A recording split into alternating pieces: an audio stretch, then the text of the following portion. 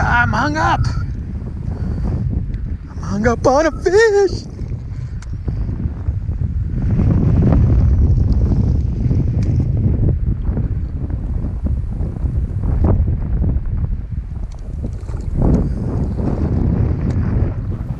Hey crew, Jason Amaro. Well, just a reminder, June 5th of 2021 is the free fishing day in the state of New Mexico. Go out there, have a good time. If you want to take somebody fishing that's never been fishing before, this is a great opportunity so they don't have to buy a license. But just remember guys, just because it's a free fishing day doesn't mean it's a free for all. Make sure you obey all the rules and regulations and you can find those on the Department of Game and Fish website. So you've decided to take advantage of the free fishing day. Well, where do you find all the fish? Well, I always say that fish are like kids. They like structure and they swim in schools. So what does structure mean?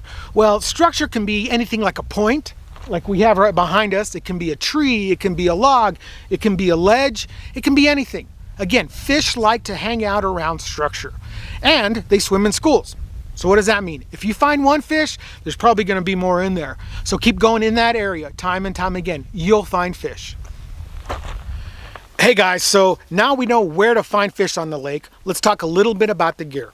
And let's first start by saying, guys, it does not need to be expensive. It doesn't need to be expensive. It really doesn't.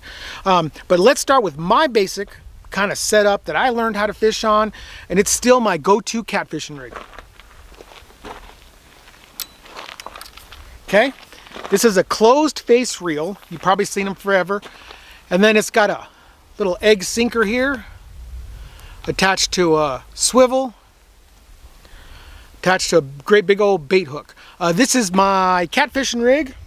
One of these days I'm to catch the monster. That's why it's a little bit exaggerated.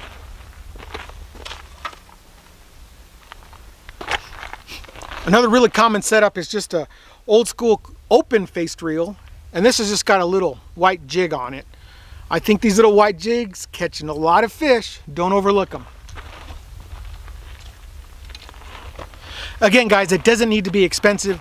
Go out there, have a good time. One tip is practice while you're at home. Don't practice casting a rod while you're at the lake because then you're practicing casting a rod and not fishing. Again, guys, get out there. Take advantage of your free fishing day. If you have any questions, let me know. Again, like and subscribe. We'll talk to you soon. Take care, guys.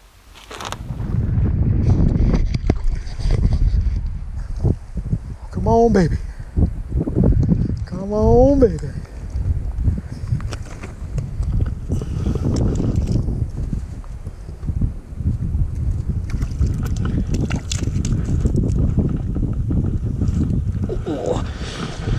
Wow, that wasn't very graceful.